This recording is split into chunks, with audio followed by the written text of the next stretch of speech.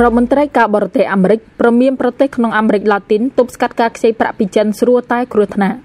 រដ្ឋមន្ត្រីក្រសួងការបរទេសអាមេរិកលោកម៉ៃប៉ុមពីអូកាលពីថ្ងៃពុធបានជំរុញឲ្យបណ្ដាប្រទេសនៅអាមេរិកឡាទីនប្រុងប្រយ័ត្នអំពីការដែលបានខ្ចីប្រាក់ពីចិនយ៉ាងងាយស្រួលហើយបានស្នើឲ្យពួកគេចេះជ្រើសរើសក្រុមហ៊ុនអាមេរិកនិងលោកខាងលិចជាដៃគូអាជីវកម្មវិញទើបជាការល្អប្រសើរនិងដើម្បីអនាគតមានហានិភ័យតិចតួចតាមរយៈសារព័ត៌មានរុស្ស៊ីស្ពុតនិកបានស្រង់សម្ដីលោកម៉ៃប៉ុមពីអូ ពេលថ្លែងនៅប្រទេសចាំៃកាដែលជាប្រទេសមួយនៅក្នុងទ្វីបអាមេរិកឡាទីនហើយមាននាការចិនថានរណាក៏ចង់ទទួលបានប្រាក់យ៉ាងងាយស្រួលផងដែរគឺដូចជាខ្ចីពីប្រទេសចិនប៉ុន្តែតើវាល្អអ្វីប្រសិនបើលុយនោះធ្វើឲ្យពុករលួយធ្វើឲ្យខូចដល់នីតិរដ្ឋរបស់អ្នកបន្ទាប់មករដ្ឋមន្ត្រីការបរទេសរូបនោះបានប្រាប់ពីដំណោះស្រាយដោយថាមានជំរឿនល្អប្រសើរក្រុមហ៊ុនលោកខាងលិចនិងក្រុមហ៊ុនអាមេរិកធ្វើប្រតិបត្តិការយោងទៅតាមគុណតម្លៃដែលបានបង្ហាញ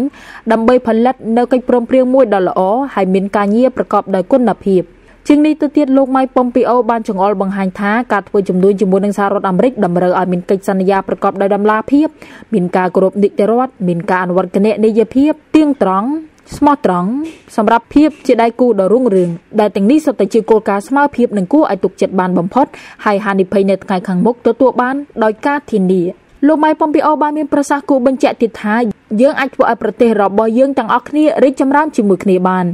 ឥឡូវនេះរដ្ឋមន្ត្រីក្រសួងការបរទេសអាមេរិកលោកម៉ៃប៉ុមពីអូកំពុងធ្វើទស្សនកិច្ចនៅអាមេរិកឡាទីនហើយនឹងស្នាក់នៅប្រទេសកូឡុំប៊ីនិងកូស្តារីកាប៉ុន្មានថ្ងៃមុនសហរដ្ឋអាមេរិកនិងចិនបានព្រមព្រៀងគ្នាលើកិច្ចព្រមព្រៀងពាណិជ្ជកម្មដំណាក់កាលទី1ដែលជាផ្នែកមួយនៃកិច្ចព្រមព្រៀងពាណិជ្ជកម្មទ្វេភាគីដ៏ធំមួយក្រោយពីចំនួនពាណិជ្ជកម្មកិច្ចព្រមព្រៀងនេះត្រូវរៀបចំឡើងដើម្បីបញ្ចប់ចំនួនពាណិជ្ជកម្មដែលកំពុងបន្តបង្កអន្តរាយមិនត្រឹមតែប្រទេសទាំងពីរនេះទេតែធ្វើឲ្យកំណើនសេដ្ឋកិច្ចពិភពលោកប៉ះពាល់ផងដែរអស់ជាច្រើនចំនួនមកហើយសេដ្ឋកិច្ចរបស់អាមេរិកឡាទីននិងរដ្ឋការ៉ាប៊ីនត្រូវបានត្រួតត្រាដោយពាណិជ្ជកម្មជាមួយនឹងសហរដ្ឋអាមេរិកដែលជាសច្ចានុម័តទោះជាយ៉ាងណានៅក្នុងរយៈពេលប៉ុន្មានឆ្នាំចុងក្រោយនេះការជំរុញកាន់តែខ្លាំងឡើងរបស់ប្រទេសចិនតាមរយៈការសូកទាញការវិនិយោគនៅក្នុងតំបន់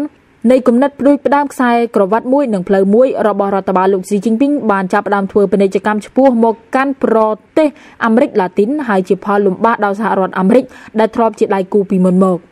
ភាពជាដៃគូនេះគឺគួររំលឹកពី20ឆ្នាំមុនដោយយោងតាមទិន្នន័យរបស់ធនាគារពិភពលោកគឺប្រមាណ57%នៃការនាំចេញពីអាមេរិកឡាទីនត្រូវបាននាំទៅកាន់ទីផ្សារសហរដ្ឋអាមេរិកហើយតុល្យភាពទំនិញពីសហរដ្ឋអាមេរិកគឺនាំចូលតំបន់នោះ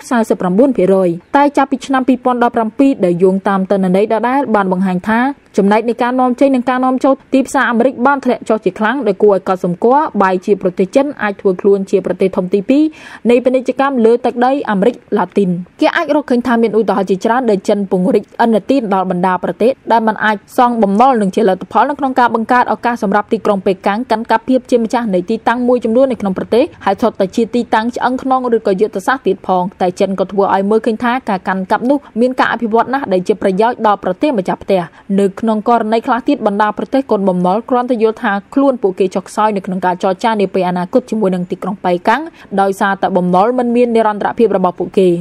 យ៉ាងណាមិញគឺជារឿយរឿយអាញាធរចិនបានច្រានចោលការរិះគន់បែបនេះជាយូរមកហើយដោយទទូចថាប្រាក់កម្ចីដែលពួកគេកំពុងផ្ដល់ឲ្យមានភាពយុត្តិធម៌មានការអភិវឌ្ឍជឿនលឿនពិតប្រាកដខណៈមានប្រទេសជាច្រើនមិនចង់ជួយប្រទេសទាំងនោះឲ្យងើបផុតពីភាពក្រីក្រលំបាកវេទនានោះទេអន្តរជាតិជាភាសាលោកខាងលិចថាអ្វីដែលចិនធ្វើ តាមរយៈការឲ្យខ្ចីបុលគឺស្ថិតនៅក្នុងទម្រង់មួយនៃអន្តៈបំណុលដែលជាយុទ្ធសាស្ត្រចេតនាមួយរបស់ជនជាតិចិនហើយក៏ជាលទ្ធផលនៃភាពគ្មានបទពិសោធន៍នៃការវាស់វែងនិងកំណត់តម្លៃហានិភ័យនៃប្រាក់កម្ចីនៃរដ្ឋាភិបាលដែលទៅខ្ចីបំណុលគេខណៈអាមេរិកប្រមានចំពោះចេតនាចិនមានឧបាយកលសេដ្ឋកិច្ចនយោបាយតែអាមេរិកហាក់មើលឃើញថាយកចិត្តទុកដាក់តិចតួចណាស់ចំពោះប្រទេសអាមេរិកឡាទីន